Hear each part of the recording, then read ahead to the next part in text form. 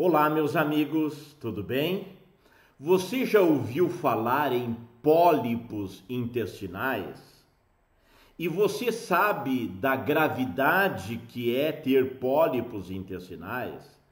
Como tem se multiplicado nos últimos tempos o surgimento de pessoas que me procuram por causa dos pólipos intestinais? E você sabia que a gente consegue ver indícios de pólipos intestinais através da iridologia? Deixa eu te mostrar aqui, vou te colocar aqui uma tela para você me acompanhar em tela cheia e eu quero te mostrar é, algumas imagens. Para quem não me conhece ainda, eu sou o professor Edomar Cunha, sou terapeuta naturista e iridologista há 30 anos, sou professor de iridologia há 25 anos e também sou nutricionista. E cada dia mais eu me apaixono pela ciência da iridologia.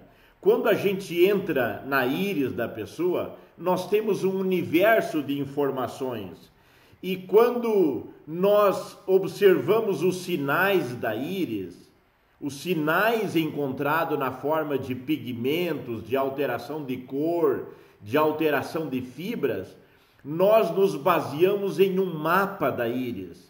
Na topografia da íris, nós temos o registro de todos os órgãos do nosso corpo. A zona central da íris, a zona próxima à pupila, é a zona que representa a área gastrointestinal, o nosso sistema digestório. E eu quero te mostrar rapidinho aqui, olha só, olho direito e olho esquerdo. Você viu esse pigmento? Eu até assinalei aqui para você dentro na topografia da íris. Olha só, nesta posição aqui, ó, dentro do sigmoide, na porção final do intestino.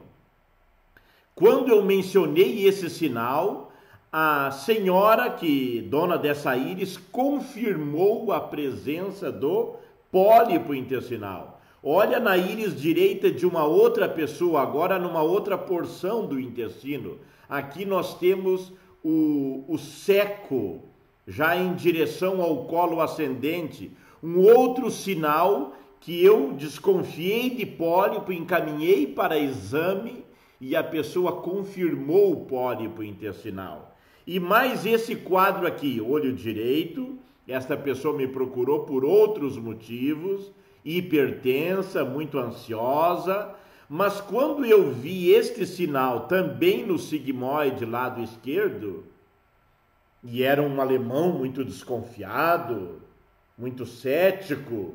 Quando eu mostrei esse sinal e falei de pólipo, aí ele parece que ele se entregou. Ele disse: Eu já tirei um pólipo. Depois de um ano nessa mesma posição, fiz outra colonoscopia e apareceu novamente outro pólipo intestinal. E aí eu entrei na jogada, mudamos a alimentação. Você precisa tirar a proteína animal da sua dieta, carne, o leite, o queijo, o pão branco, aquilo que suja seu intestino, porque isso favorece a, o surgimento de pólipo. Usar e abusar de abóbora crua, cozida, assada, suco de abóbora crua e também usar fibras numa combinação de fibra solúvel com fibra insolúvel e muita água. Na descrição do vídeo eu vou deixar para você o link de um vídeo do Dr. Hiromi Shinya, um médico japonês, aonde ele mostra as causas dos pólipos intestinais. Por favor, confira esse vídeo. Até o nosso próximo encontro, ok?